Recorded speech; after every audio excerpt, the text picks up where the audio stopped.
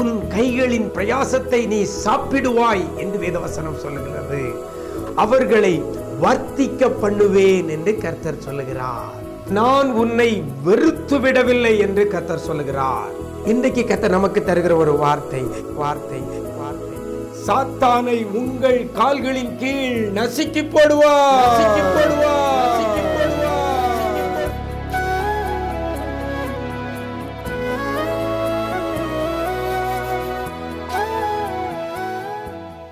கிறிஸ்துவில் பிரியமானவர்களே ஆண்டவரும் இரட்சகருமாக இயேசு கிறிஸ்துவின் ஈடு இணையற்ற நாமத்தில் உங்களுக்கு அன்பின் வாழ்த்துக்கள். நிஜம் தொலைக்காட்சியின் இந்த விசேஷித்த வார்த்தை நிகழ்ச்சி மூலமாக உங்களை சந்திப்பதிலே மிக்க மகிழ்ச்சி அடைகிறேன். நல்லா இருக்கிறீங்களா? எல்லாரும் ஆண்டவர் கிருபையில் நல்லா இருப்பீங்கன்னு கர்த்தருக்குள் நம்புகிறேன். இந்த நாளில் கூட கர்த்தர் நமக்கு தருகிற ஒரு வார்த்தை. ரோமர் பதினாறாம் அதிகாரம் இருபதாம் வசனத்தில் இவ்வாறாக சொல்லப்படுகிறது சாத்தானை உங்கள் கால்களின் கீழே நசுக்கி போடுவார் என்று வேதவசனம் சொல்லுகிறது. நசுக்கி போடுவாராம் யாரை? சாத்தானை. எங்க? கால்களின் கீழே. யார் கால்களின் கீழே? உங்கள் கால்களின் கீழே என்று சொல்லி இந்த வசனத்தில் சொல்லப்பட்டிருக்கிறது. சாத்தானை உங்கள் கால்களின் கீழே நசுக்கி போடுவார் என கருமையான தேவ ஜனமே இன்றைக்கு சத்ருவானவன் நம்முடைய வாழ்க்கையில் நிறைய ஆசீர்வாதங்களை தடுத்து கொண்டிருக்கிறான். வரவேண்டிய நன்மைகளை கெடுத்து கொண்டிருக்கிறான். சமாதானத்தை தடுத்து கொண்டிருக்கிறான். பொருளாதார ஆசீர்வாதங்களை தடுத்து கொண்டிருக்கிறான். மனதளவில் சமாதானம் இல்லாத நிலைமைக்கு கொண்டு போய் கொண்டிருக்கிறது இந்த சத்துருடைய செயல் இந்த சாத்தானுடைய செயல்கள். இன்றைக்கு என் ஆண்டவர் சொல்கிறார் இப்படி உங்களுடைய சமாதானத்தை கெடுக்கிற இப்படி உங்களுடைய சந்தோஷத்தை கெடுத்து கொண்டிருக்கிற இப்படி உங்களுக்கு வர வேண்டிய நன்மைகளை தடுத்து கொண்டிருக்கிற இந்த சத்துருவாகிய சாத்தானை கர்த்தர் என்ன செய்கிறாரா? வசனம் சொல்லப்படுகிறது உங்கள் கால்களின் கீழே நசுக்கி போடுவா இன்னைக்கு அநேகருடைய வாழ்க்கையில் அநேக குடும்பங்களில் சத்துரு மேலோங்கி நிற்கிறான். சத்துருடைய கிரியைகள் தலை தூக்கி நிற்கிறது. அடிக்கு மேலே அடி பாடுக்கு மேலே பாடு வேதனைக்கு மேலே வேதனை இழப்புகளுக்கு மேலே இழப்பு இவைகளுக்கு மத்தியில் வாழ்ந்து கொண்டிருக்கிற தேவ பிள்ளையே சத்துருடைய கிரியைகள் செயல்பட்டு கொண்டிருக்கிற உங்களுடைய குடும்ப வாழ்க்கையில் இன்றைக்கு கத்தர் உங்களுக்கு சொல்லுகிறார். நீங்கள் நினைக்கலாம் என் தலைக்கு மேலே ஆடிக்கிட்டு இருக்கிறான். என் தலைக்கு மேலே சத்ருவானவன் கொண்டு வருகிற பிரச்சனைகள் ஏராளம் என்று சொல்லி கொண்டிருக்கலாம். இன்றைக்கி கத்தர் சொல்லுகிறார் அப்படி உங்கள் தலைக்கு மேலே உடைய வாழ்க்கையில் மொத்தத்தையும் ஆட்டி படைத்து கொண்டிருக்கிற அந்த சத்ருவான சாத்தானை உங்கள் கால்களின் கீழே நசுக்கி போடுவார் என்று சொல்லப்பட்டிருக்கிறது. எவ்வளவு பெரிய ஆசீர்வாதம் எவ்வளவு பெரிய விடுதலை. அப்படி வாழ்க்கையில் கத்தரை செய்ய போகிறார். இது உங்களால் என்னால் செய்ய முடியாது. யார் செய்வாராம் வசனத்தில் ஆரம்பத்தில் சொல்லப்படுகிறது சமாதானத்தின் தேவன். நம்முடைய ஆண்டவர் சமாதானத்தின் தேவன். அந்த சமாதானத்தின் தேவன் இதை செய்வார். எதை? சத்ருவை சாத்தானை உங்கள் கால்களின் கீழே நசுக்கி போடுவார். சரி எப்போ போடுவார்? எனக்கு விரோதமாக எழும்புகிற சாத்தானை எனக்கு விரோதமாய் தலை தூக்கி நிற்கிற சாத்தானை சமாதானத்தின் தேவன் எப்போ என் கால்களின் கீழே நசுக்கி போடுவார்னு அந்த வசனத்தில் அழகாக சொல்லப்படுகிறது. எப்படி?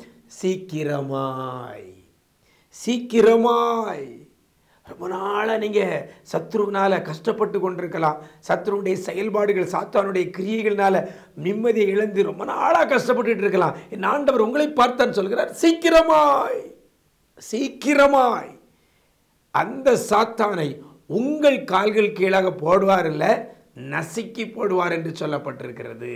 எனக்கு அருமையான தெய்வ ஜனமே இது என் ஆண்டவரால் முடியும். அப்படியானால் அந்த சமாதானத்தின் தேவன் இதை சீக்கிரமாய் செய்ய வேண்டுமானால் நீங்களும் நானும் சமாதானத்தின் தேவனாகிய நம்முடைய ஆண்டவராகிய இயேசு கிறிஸ்து விரும்புகிறபடி நம்முடைய வாழ்க்கையை அமைத்து கொள்ள வேண்டும்.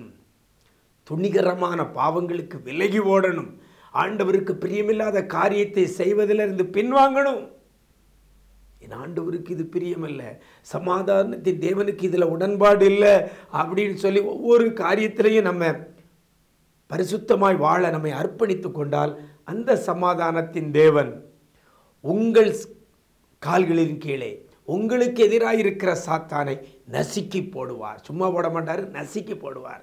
எனக்கு அருமையான தேவஜனமே கர்த்தர் நசுக்கி போட்டார்னா அதுக்கப்புறம் அதால் செயல்பட முடியாது. இன்றைக்கி நம்ம கால் கீழே நம்ம ஒரு எறும்பை நசுக்கி போட்டோம்னு வைங்க. அந்த எறும்பு அதுக்கு பிற உயிர் வாழ முடியுமா? இல்லையே. எந்த ஒரு உயிரினத்தையும் நம்ம நசுக்கி போட்டாச்சுன்னா அது திரும்ப உயிர் பெற முடியாது. அப்படித்தானே நான் ஆண்டவர் செய்வேன் என்று சொல்கிறார் உங்களுக்கும் செய்வார்.